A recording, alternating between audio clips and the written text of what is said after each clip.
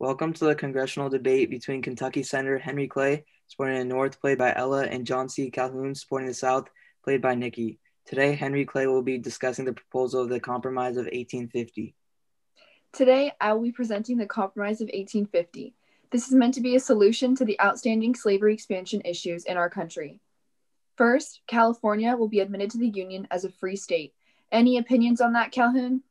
Adding a state to the Union throws off the balance in the Senate, giving the North an unfair advantage. The free states and slave states need to be admitted in pairs.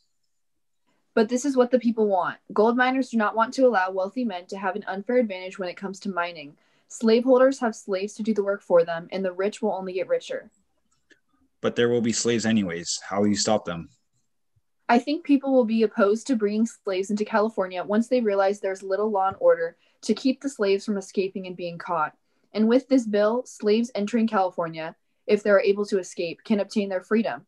The Fugitive Slave Act, Part 5 of the Compromise, will not apply there. All right, so be it. California was decided to be passed as a free state. Clay's second bill of proposal was to have popular sovereignty decide if New Mexico and Utah would be a free state or a slave state.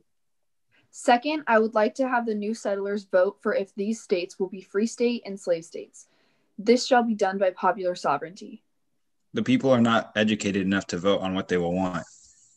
The new settlers should be able to choose whether or not they want to be a free state or a slave state.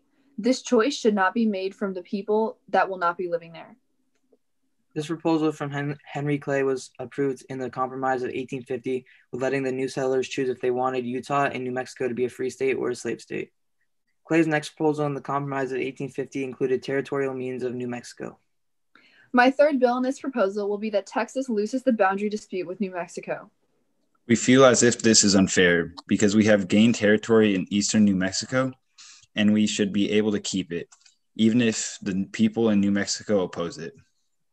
New Mexico has long prohibited slavery, and there was previously border disputes between Texas and New Mexico, in which New Mexico does not want the people of Texas in their territory.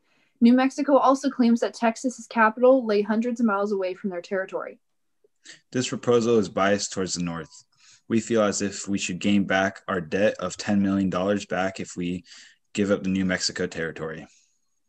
This proposal from Henry Clay was approved in the Compromise of 1850, with Texas losing the border dispute with and territory in New Mexico, however, gained $10 million they had previously accumulated in debt.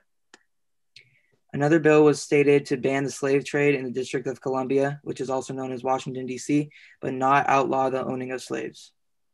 Any change of ownership or auctioning of slaves will be illegal. However, owning slaves is still permitted. This bill allowed the slaves working in the capital to keep working, but took a step towards the abolition of slavery. This is ridiculous. Banning the trade takes away the economy and income from selling slaves. Abolitionists in the district want to see the slave trade go, starting with the capital. To meet in the middle and compromise on this bill, I think going halfway by banning the trade is an obvious solution. Okay, I can agree on this. However, the proposal of the compromise so far is looking to support the unions far more than it is, does for the South, who depend on slavery. What is the last act? The last proposal in Henry Clay's compromise was the highly controversial Fugitive Slave Act. The final proposal is the Fugitive Slave Act, highly condemned by the North.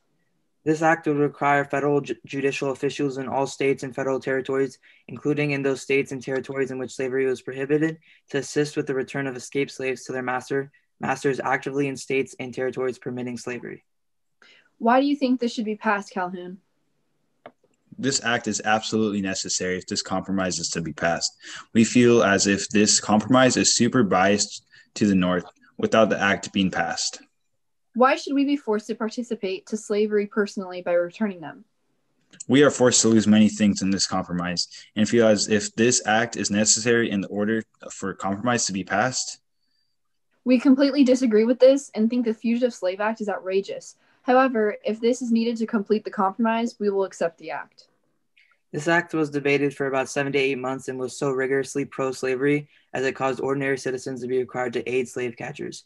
Many north- northern, Northerners deeply resented the requirement to help slave slavery personally. Resentment towards the act continued to heighten tensions between the North and the South. This compromise was passed and in short term was accepted by both sides, but as conflict started to worsen, eventually the compromise was broken and the Civil War had started.